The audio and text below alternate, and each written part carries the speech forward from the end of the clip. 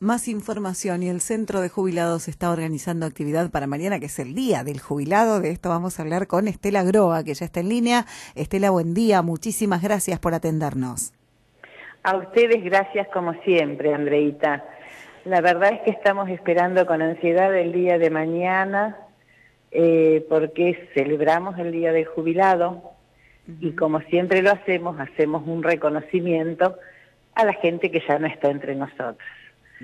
Y este año en el cementerio a las 11 de la mañana, como es tradicional en nuestras costumbres, eh, vamos, a, vamos a, recordar a nuestra queridísima Mirta Ferrera que nos abandonó a mitad de este año. Mm. Este, hemos invitado a autoridades, invitamos a los vecinos, invitamos a aquellos, todas aquellas personas que tanto la han querido a Mirta, este, reconociendo su carrera, y terminó aquí con nosotros una persona muy querida, muy, muy mm. apreciada. Por eso queríamos hacer extensiva esta invitación a toda la comunidad.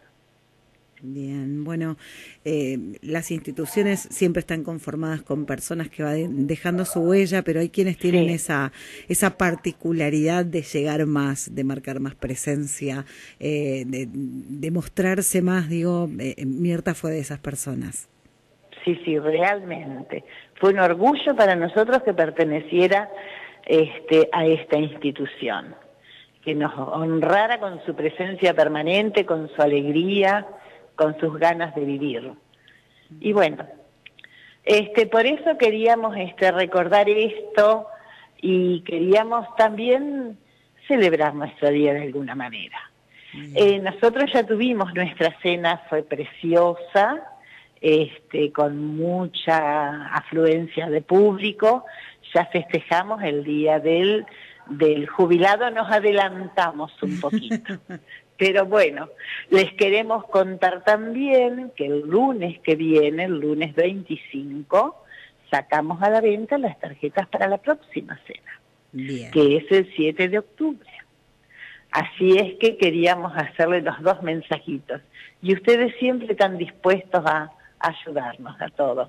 Por supuesto que sí, como todas las instituciones, eh, contarles a, la sociedad lo que trabaja cada una de las instituciones, eh, lo que gestionan, lo que hacen, lo que muchas veces no se ve.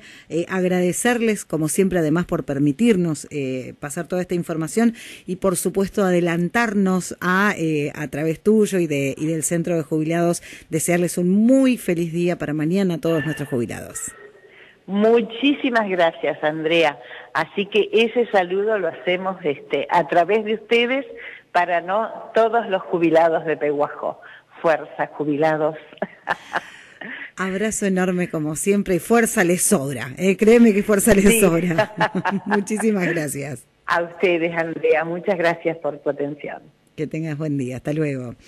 Estela Groba, la presidenta del Centro de Jubilados y Pensionados de nuestra ciudad, mañana en el Día del Jubilado se realizará, eh, como siempre, el acto en el cementerio para recordar a aquellos que, los dejaron, bueno, a Mirta que eh, los dejó este año y que dejó una gran huella en la institución, y también anunciando ya que a partir de la próxima semana se ponen en venta las tarjetas para la cena de octubre.